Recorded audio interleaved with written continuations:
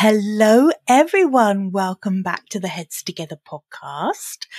I'm your host, Gill Moakes, and this week's topic is one that is incredibly close to my heart because when I got my head around this subject and really understood this, marketing my business became so much easier. And so I've been quite looking forward to pulling this episode together to share with you. It's really quite a pivotal one and I think you're going to enjoy it. Let's dive in. Welcome, welcome to the Heads Together podcast. I'm Gill Moakes and I am obsessed with cutting through the noise when it comes to growing your business. Each week, via intimate coaching conversations and inspirational stories, I share what it really takes to get the results you want in a way that feels right to you. I am all about attracting higher ticket opportunities, building authentic relationships, and creating the abundant, full fat version of your dream business. I mean, how many of us have beavered away creating a light version of what we really want? The thing is, I honestly believe when you're outstanding at what you do, there is no limit to what you can achieve. So, are you ready to put our heads together and make it happen? Let's go.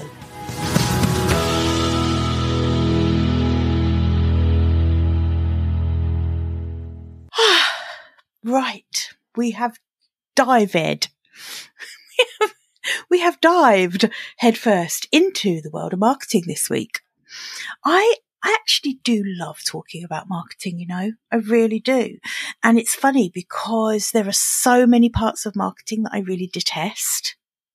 So for me, if you've been listening to this podcast for a while, or if you follow me anywhere else, you'll know that I'm all about marketing that feels good. Feel good marketing.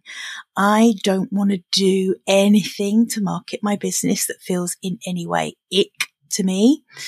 And I also don't want to burn myself out trying to replicate other people's complex marketing strategies and funnels and all of that stuff. I really believe in keeping marketing simple, letting it be easy, letting it be light, but most of all, making sure it feels good to you. So I just really wanted to uh, make sure that we have that as our precursor to this week's episode because all of those things really are a given. You know, I'm never going to be the coach who insists that you pick a particular marketing strategy because we're all different. We all have different personalities and we all have different types of marketing that are going to suit us better than others. Now that doesn't mean that all of our marketing doesn't need to have those three eternal truths. Visibility, lead generation, sales. If you're in business, those three things need to be happening for your marketing to be effective. You need some visibility platform. You need some way of generating leads. In other words, asking people to raise their hand and indicate to you that they are interested potentially in becoming a client at some point, or they're interested in what you have to say, or they're interested in what you have to sell. And then the sales process. So that's the last part of the marketing is those people who have raised their hand. How do we then get them to pay you for what you're offering? Providing it's of value and meets their needs. Simple, right? Simple. Doesn't get any more complicated than that. We love to make it more complicated than that, but actually it isn't. It's those three things. But of course, there are a million and one different strategies that fall under those three headings. And this is where marketing can get very complex, very overly onerous, very time consuming, and it can end up feeling really ick. So this week, what I really want to talk to you about is the yin and yang of marketing. And this is the way I see it. And that is lighthouse marketing versus searchlight marketing. And I use this metaphor really intentionally because it's really, it really does represent what I am trying to get across here. These two different approaches to marketing, they fit beautifully together. So it isn't one or the other, but absolutely there are times we focus more on one than the other potentially. And our work really is to find this balance between lighthouse marketing and searchlight marketing because they've both got their own unique strengths. So let's start off by me, probably is going to be helpful for me to explain what I mean by lighthouse marketing and searchlight marketing.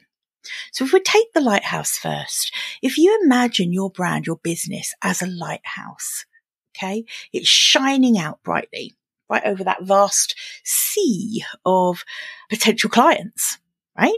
It's the visibility content. This podcast, for example, is lighthouse marketing. This is visibility for me. it's funny to use the word visibility when I'm talking about something you're listening to, but you get my point. So visibility content is podcasts, it's YouTube channels, it's blogs. It's the social media profile content. It's the stuff you put out there for the world to see. So this is about casting your net wide, actually. This is about trying to get your content, your opinions, your way of doing things in front of as many of your ideal clients as you can. That's the visibility part. That is the lighthouse. It's shining that light right out across the ocean. And visibility really matters because that's what builds that trust. It's what really builds your authority in the eyes of your ideal clients, your authority, your credibility, right? It's the foundation. So when people see that beam from your lighthouse consistently offering this really valuable content, insights, that's when they start to trust you. That's when you become their go-to. And you know this yourself. Think about the people you follow, the people you trust to listen to, to watch, to read. The people you go back to time and time again are the people who consistently offer valuable content. They don't let you down. They, it really is this your go-to source of expertise, right? If we want to use that light analogy, I can feel so many analogies coming on in this episode. You're going to be so irritated by it by the end of it. But I was, when I was thinking about this, I was thinking, oh, yeah, it's like the difference between a tiny flickering candle and a towering beacon, right? beautiful analogy. Another beautiful analogy. Ah, I do like them. Do you love my metaphors, right? But this is a good one, I think. This is a good one. So I'm going to go with it. So this lighthouse marketing, this visibility piece is so, so important. But there's another side. There's a, there is a yin to the yang of marketing. And so now I want to explain to you what I mean by the searchlight marketing. Okay. This is you holding this searchlight, this flashlight and actively looking for your potential clients, for the people that you think think would be good to collaborate with, for the people who you think would make fantastic referral partners, right? So searchlight marketing is about actively seeking out and then building relationships. Yeah one conversation at a time, often on social media.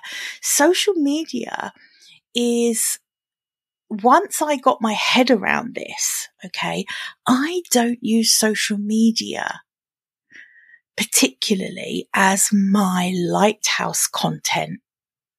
Dun, dun, dun, I'm sure anyone who follows me knows that. You know, it isn't where I'm consistently putting out value packed information. That's my podcast. That's my blog. That is my very occasional or not very occasional, reasonably consistent, um, longer form LinkedIn posts that are really, you know, valuable. social media for me is not, generally speaking, lighthouse marketing. It's searchlight marketing. It's where I'm going to be the one looking for the people that I want to actively connect with and actively and intentionally build a relationship with. Right? Searchlight marketing is about making connections. It's about nurturing them. It's actually about getting across that you are a real person who genuinely cares about your ideal clients' needs and their aspirations. You get to be the torch or flashlight for my friends across the pond. You know, you get to be the torch guiding people. So this is another way you can use this analogy. So one is you looking using the torch to look for people. The other one is that once you've started nurturing a relationship, you're holding your torch or flashlight to guide people through the darkness. So you're helping them find their way in a really personal way.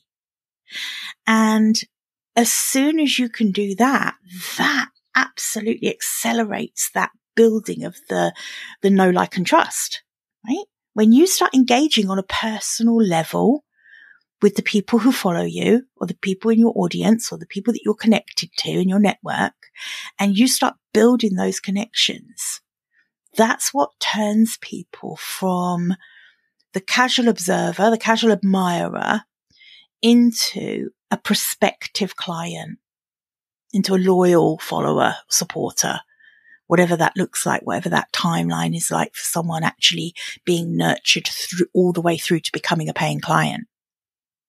So a lot of people then, once they understand that there are these two types of marketing, the next question is, okay, so, so that I get it, Gill. I get that there are these two types. So where do I focus? What should I be focusing on? And of course, the answer is both. You need both. It's the yin and the yang. You need a seamless strategy that incorporates both the lighthouse marketing and the searchlight marketing because they each play a distinct role. So the lighthouse marketing, this is your, like I say, your podcast, your YouTube, your blogs. It's like that is your broadcasting of your message. It's what's establishing your authority. It's what is attracting like a, a broad audience of ideal clients. It's where you're casting your net wider and inviting people in to see what you're all about, inviting them to observe, to watch, read, listen to what you're doing, to your messaging, to your opinions, to your style, to the way you do business or to the way you serve your clients. It's, uh, it's really an invitation for people to come and experience and watch that.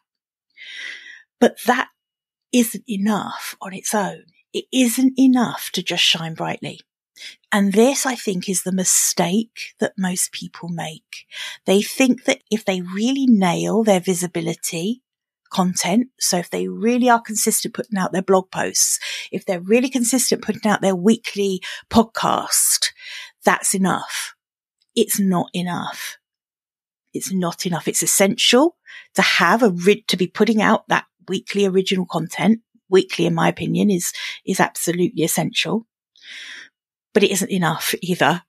You've also got to start connecting personally with your audience. And this is where the searchlight marketing comes in. So when you start really intentionally and thoughtfully engaging with other people's content, not just responding to comments on your own content either.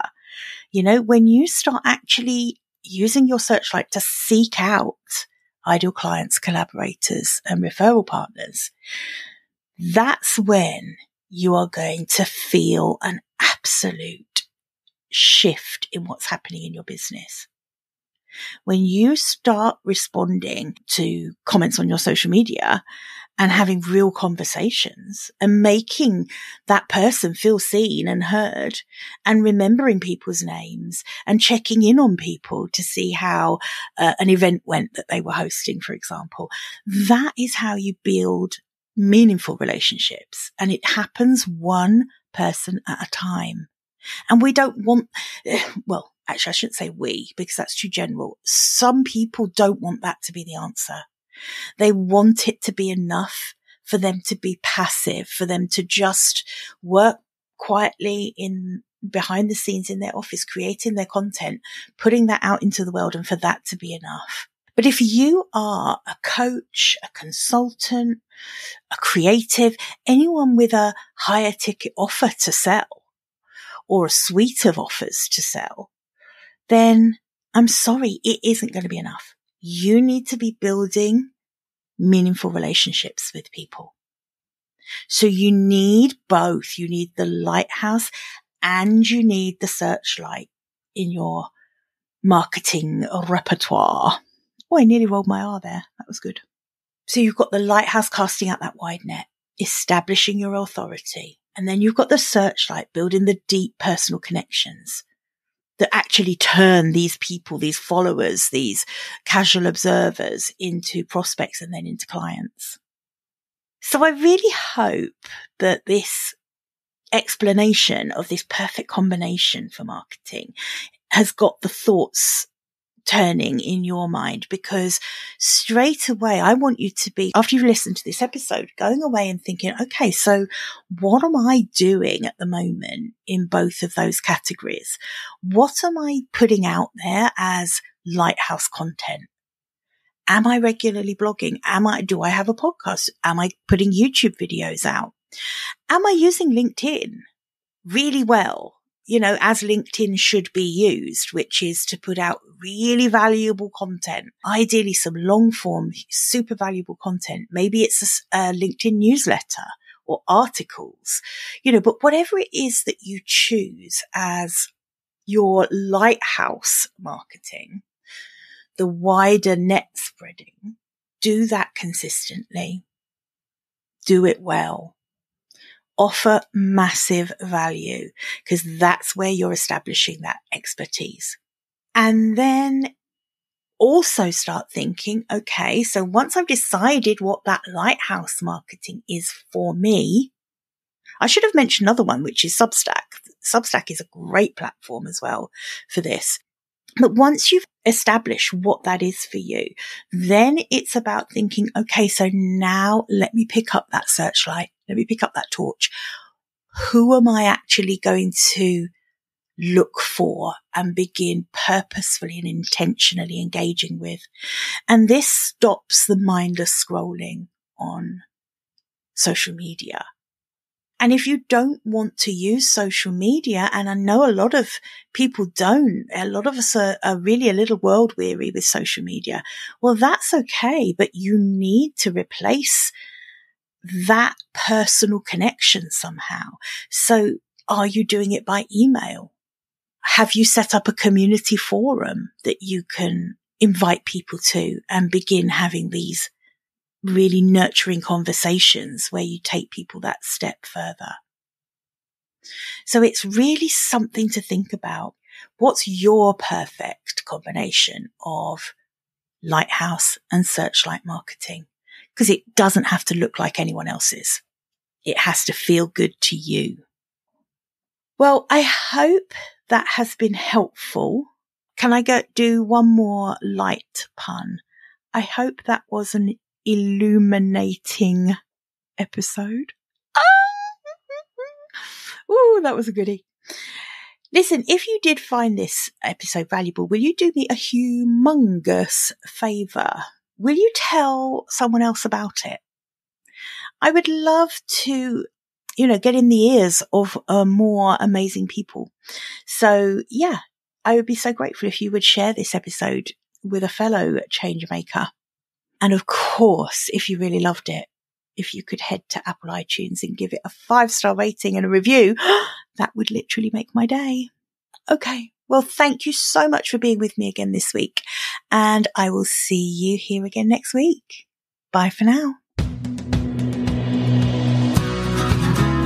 I hope you enjoyed this episode and that getting our heads together this week has filled your mind with what's possible. If you love the show, would you do me a massive favour, please? Would you leave a five star rating on Apple Podcasts? It would really help me put more heads together, reach more ears, and expand more minds. Until next week, bye for now.